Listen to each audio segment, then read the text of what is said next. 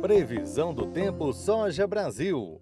Um oferecimento Sementes J Basso. Para enfrentar os desafios do campo, pode plantar. É J Basso. Vamos conferir como fica a previsão do tempo para todas as áreas produtoras de soja no Brasil aí nesta terça-feira. Como podemos ver nas imagens de satélite, nuvens carregadas ainda sobre região sul, sudeste, também região centro-oeste. O Brasil ainda levam temporais aí para a região. O acumulado de chuva fica concentrado aí principalmente aí no Paraná, com um volume que pode chegar novamente a 100 milímetros, como também lá no sul e em Mato Grosso do Sul.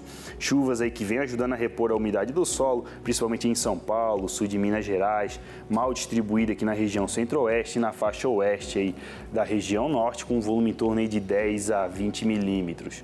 Quando olhamos aí para a questão da umidade do solo, Nordeste ainda segue com o déficit hídrico, não tem previsão de chuvas volumosas para essa terça-feira porque a chuva volumosa fica no Paraná e lá no sol se encontra com muita umidade, podendo trazer problemas para os trabalhos em campo. Quando olhamos aí para as chuvas nos próximos cinco dias, veja, mudança no panorama aí. Chuvas chegando aqui em boa parte do Mato Piba, com em torno de 40, 50 milímetros, ajuda a aliviar a situação, como também aqui na região centro-oeste, faixa centro-sul aí da região norte.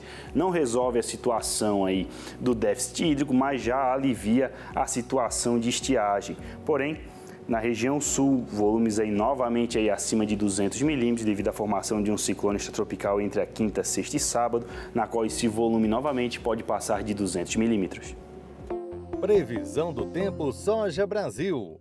Um oferecimento Sementes J Basso. Para enfrentar os desafios do campo, pode plantar. É J Basso.